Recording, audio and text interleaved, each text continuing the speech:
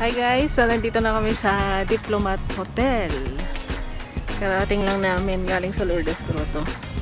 So yan, merienda muna tayo, gutom na kami. Binibili mo? Banana, Q. Wala ba yung over, overripe? Ay,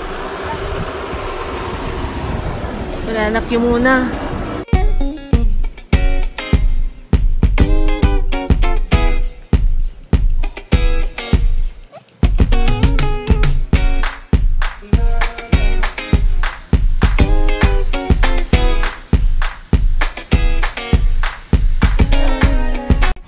Po. Oo, dalawa na. 10 pesos isa. 10 pesos isa po. Ah, Okay. ayun may entrance Parang fee, sa 10 ano, pesos. botanical. Oo, parehas ka. Lahat na po ba? Oo, kasi ganyan ang pan eh. City government puro sampu isa. Ah, Pero sa Burnham, libre. Libre pag doon ka sa pan. sa Magpas city proper yun, no? Hmm. Hmm. Pero kung mag-bike ka, hindi libre. Ay, Thank you po. Sige. So yun, nakapag-register na po kami. May entrance fee na 10 pesos lang kada isang tao. So mura na yun. Gagastusin mo lang pamasahe mo, entrance fee na 10 pesos. Nagsimula yan nung nag-start na ang pandemic. Pero kailan lang nila in-apply yung mga entrance fee dito sa mga tourist spots sa Baguio.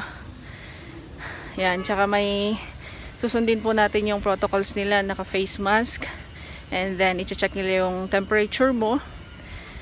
At uh, yun palagi nating sun- sundin kung nasan man yung entrance kung saan tayo mag exit so yung nasa likod ko pala yan yung 10 commandments. Parte po siya ng uh, tourist spot dito sa may Diplomat Hotel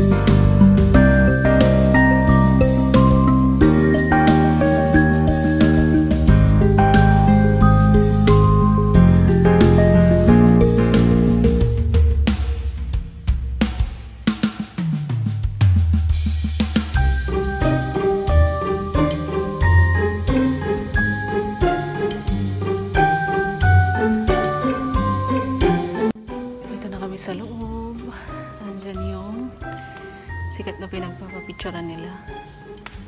Yung fountain. Daming sumisiba. Data-data muna yung isa.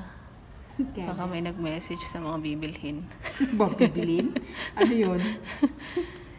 Hindi. Tour ko, sa tour ko kayo dito.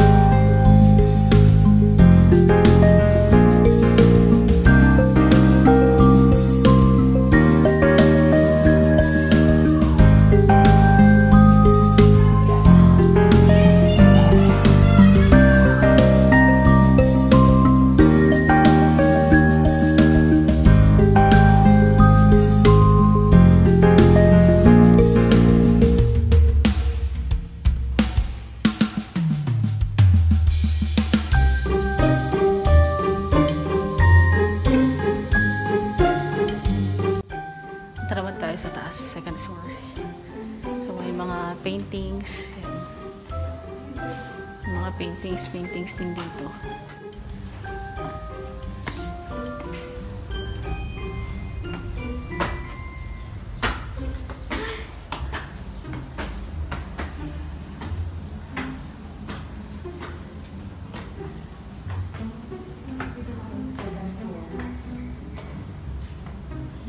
Second floor.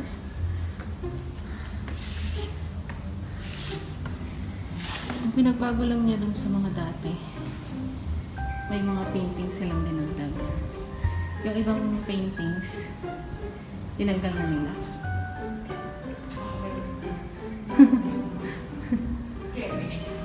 May biglang kikeme. Sa yung mga rooms.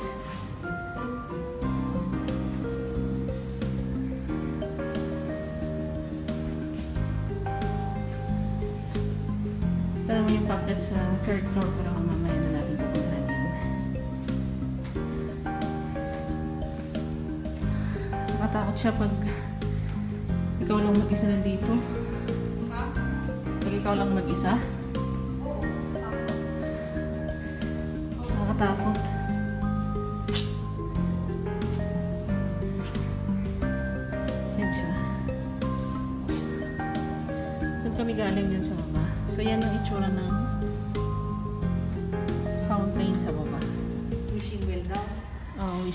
fountain naman. Pero fountain, isa rin lang yan. Doon naman sa taas, pupuntahan natin nandyan yung cross. Ginawa pa picture yan. Third floor. Hindi ko din alam kung ano yung... Kung pero tignan natin pag uwi. Tignan natin yung history nito. Kakaroon tayo ng konting history. Siyempre, yung iba, hindi na, hindi na sila nakakapasyal dahil nga sa pandemic. Kaya making this vlog para sa mga hindi pa makapasyal makapunta, makapunta dito sa Baguio. Dito na tayo sa third floor. Ah, init.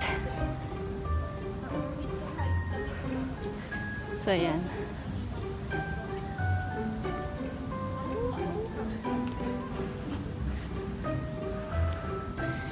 Ikot, ikot ko kayo.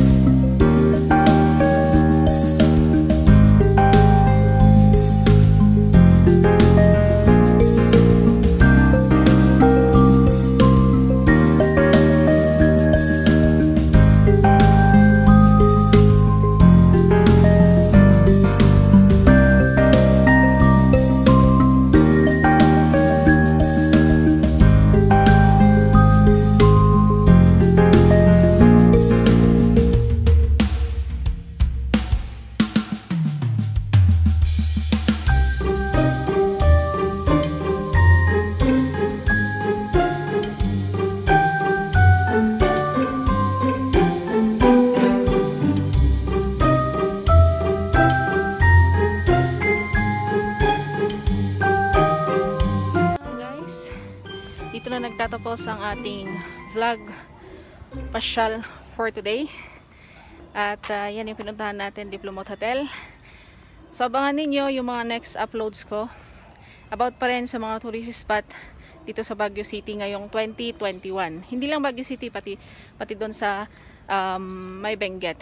So, if you like this video, don't forget to hit the thumbs up button, like button. Don't forget also, uh, also to subscribe on my channel. Hit the subscribe button and the notif- notification bell for more upcoming videos. Goodbye guys. See you on the next one.